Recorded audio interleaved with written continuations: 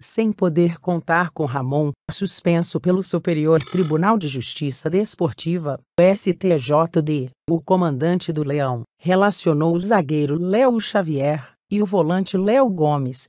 Como perdeu a primeira partida por 2 a 1, o Vitória precisa vencer para conquistar o tricampeonato. Agora vamos conferir a lista do provável time titular, banco de reserva e departamento médico do Vitória. Goleiro: Fernando Miguel.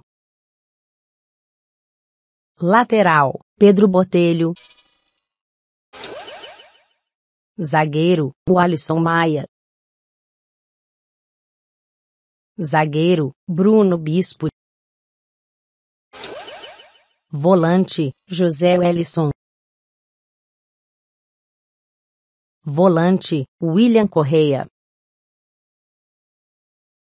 Meia, Nixon. Volante, Felipe Souto. Volante, Rodrigo Andrade. Atacante, Neilton. meia, Luan. Agora, vamos para a lista dos prováveis bancos para este jogo. Goleiro, Kaique. Goleiro, Ronaldo. Volante, William Farias. Volante, Lucas Marques. Lateral, Lucas. Atacante, Jonatas Belusso. Lateral, Juninho. Meia, Guilherme Costa. Volante, Léo Gomes. Zagueiro, Léo Xavier meia, Alexander Baumjohann. Meia, Gemerson.